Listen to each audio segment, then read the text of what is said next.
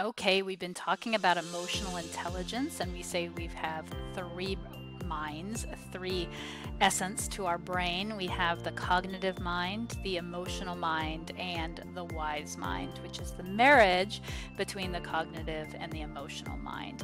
So, most people would agree that it is wise to think before you act because thinking is a rational process that improves our ability to behave uh, effectively. But at times, of course, we're going to experience these strong, almost automatic emotions that make clear thinking difficult and they block our constructive or our productive behavior. So, emotions certainly are different from thoughts because emotions lead to actions.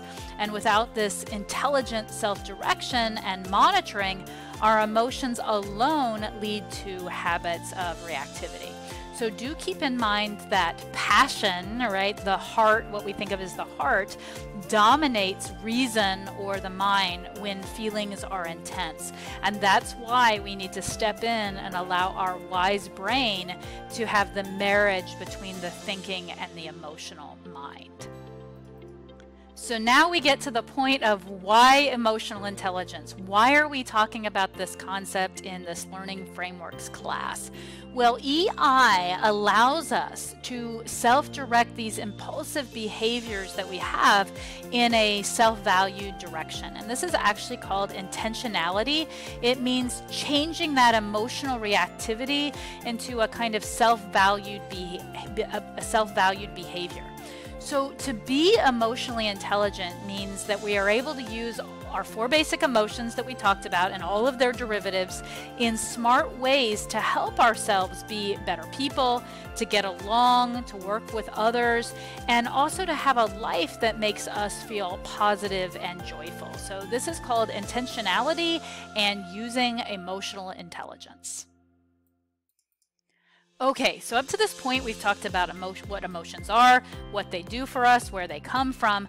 So now the second part of this process is we need to understand um, how, how we can become more emotionally intelligent. Well, to do that, we need to take an assessment. And the assessment we're going to take in this class is called, as you see at the top of the screen, an emotional skills assessment. Okay, and you're going to generate a profile.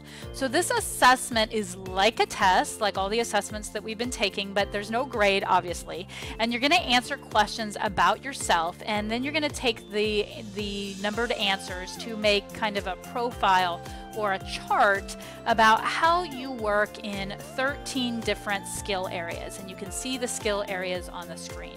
So basically, this assessment is going to me measure your current skill areas in um, kind of some different categories. So first of all, we have interpersonal skills like assertion. We have leadership skills, and you can see those are comfort, empathy, decision making, and leadership. We also have what are called self management skills, which are drive strength, time management, and commitment ethic. And we have what are called intrapersonal skills of self esteem and stress management. These are all the positive skills. We also have potential problem areas, and you can see them on there. Aggression, um, you want to avoid that. Instead, you want to focus on the word assertion. Um, also, you, the potential problem area is deference. You want to avoid that. And then again, uh, instead focus on assertion. Aggression basically means that you, you on the attack, and deference means that you're very passive and um, wishy-washy i guess i would say and assertive is like the sweet spot. It's just right okay? Another potential problem area is something called change orientation and so one of your assignments is in your um, uh, activities, you're going to be doing this assessment. Please make sure that you actually read the descriptions of all of these terms to make sure that you understand what they mean.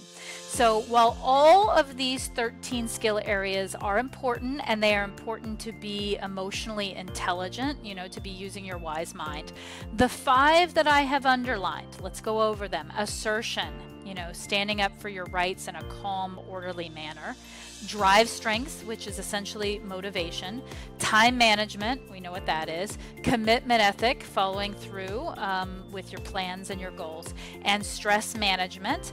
Those five are the best predictors of success, whether it's academic success, career professional success, and life success. So if you have a good handle on these five, you're going to be doing really well in life. If you have a handle on all 13, even better.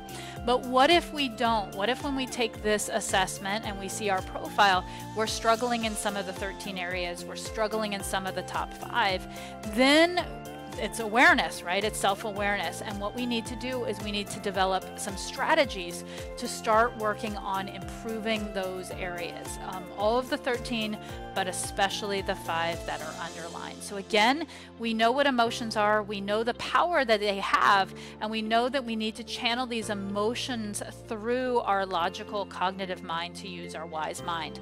So part of that process is understanding when we have triggers, when we procrastinate, when we don't have motivation motivation, when we don't handle pressure well, when we don't follow through with things, when we give in to instant gratification. When we recognize those problem areas, when we see them um, concretely, for example, on a profile, we can then say, okay, this, this is really something that's a bugaboo for me, and now what can I do to start working on it so it doesn't compromise me in my academics, it doesn't lead to future problems in my career or in my relationships. And so together we can then identify some strategies where we can start tackling these these problems, these potential problem areas, and to build a better version of ourselves in our um, in our in our own lives, but also in our relationships with other people, which is the whole part um, of being an emotionally intelligent human being.